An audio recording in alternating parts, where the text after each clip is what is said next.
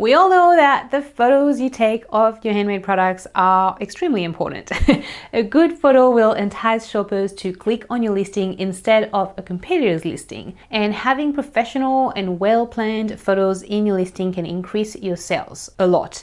But there is one secret to great photos that is easy to forget. It's not having a great camera or photographing your product in the perfect lifestyle setting. It's having the right props in your pictures because believe it or not, props have the power to solidify the shopper's buying decision. But unfortunately, they also have the power to lose the sale, which is why we are going to talk about the five most common prop mistakes.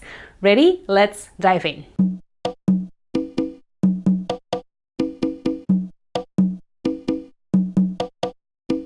Bonjour, my name is Deb and I'm the founder of Tizzit Co, a membership community for makers and handmade shop owners just like your fabulous self. You can learn more about our community Tizzit HQ via the link below this video. But for now, let's jump straight into today's conversation, five handmade product photo styling mistakes that are costing you sales. In my video a few weeks ago, we talked about two must-dos for Etsy product photos and how your photo needs to trigger an emotion. Props are one really good way to do that. They tell a story and they allow potential customers to imagine how the product fits into their life or their homes. So using props is an important component of lifestyle photos that sell your products but when used incorrectly, props can really take away from your products or cheapen your brand. So let's go through the five mistakes you will want to avoid when using props for your product photos. The first mistake is using a prop that is the wrong fit for your customers. Let's look at an example. Imagine that you need scarves out of natural, eco-friendly materials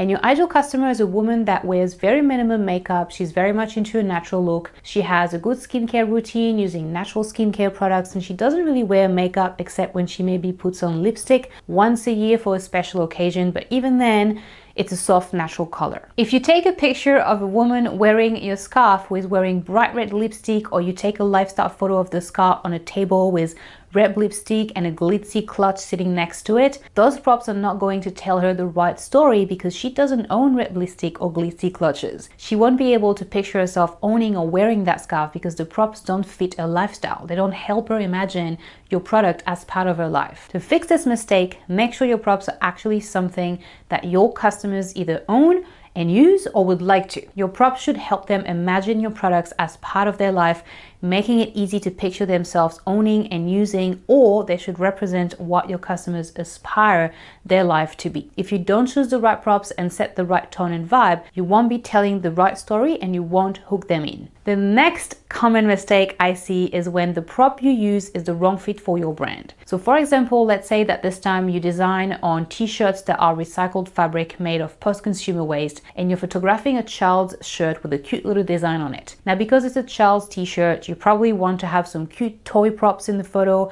and you grab a few brightly colored plastic toys, a bright red plastic train engine, a bright yellow plastic dump truck that you found at, you know, Toys R Us. Most likely though, the parent who want to buy your recycled fabric t-shirt don't have those at home. They probably have wooden toys in neutral colors that are, you know, environmentally friendly. They probably don't have toys from Toys R Us or made from environmentally unfriendly plastic. So these props are inconsistent with your brand story, which in turn decreases trust in your brand story and decreases the chance that you will convert a shopper to a sale. So make sure that your props are a good reflection of your brand values and aligned with what your products represent. If you are branded as an eco-friendly brand, use eco-friendly or natural props. If you're branded as a fun, colorful, joyful, modern, vibrant brand, use props that match this. Bright clothes and jewelry and lipstick, objects with poppy colors, things like that. Next, let's move on to mistake number three, which is using cheap props. This one is pretty straightforward. Using cheap props will cheapen your products and brand and reduce the perceived value. When this happens, you either will make less sales or it will be harder to sell at the price point that you need to sell at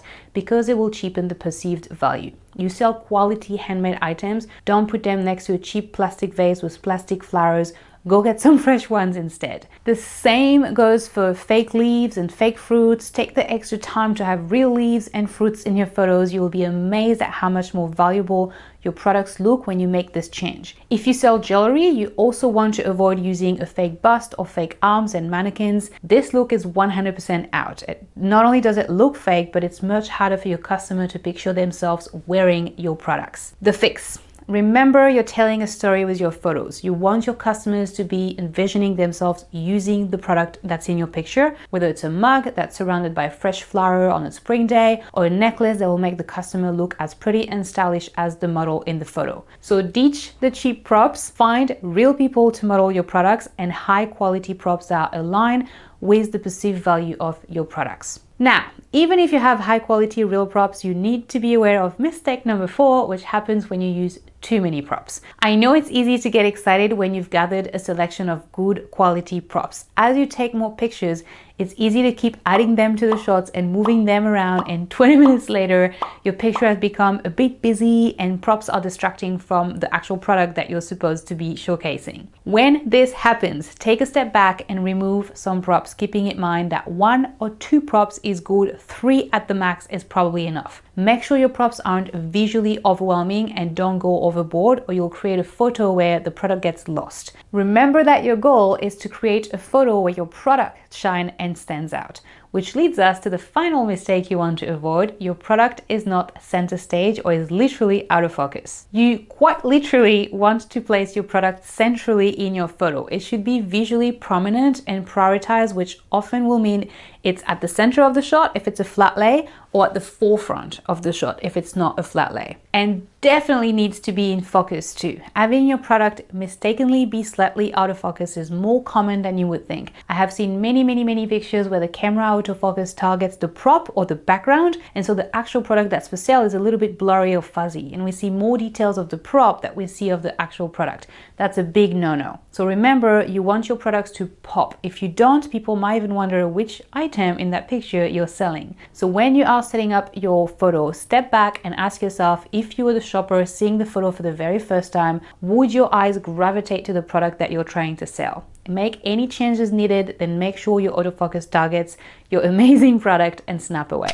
Now that you know the mistakes to avoid when placing your props, you will want to watch the video showing on your screen right now to learn two very important must-dos for Etsy product photos. We also have amazing photography courses inside of Tizzit HQ, including a workshop on how to use props like a pro to really up-level your pictures. So if you're a member, make sure to go and check that out in your library. I'll put a link below. If you're not an HQ member, definitely consider joining us. I'll put a link so you can learn more about becoming a member below. Thanks for watching. Make sure to check all those links below and until next time, au revoir.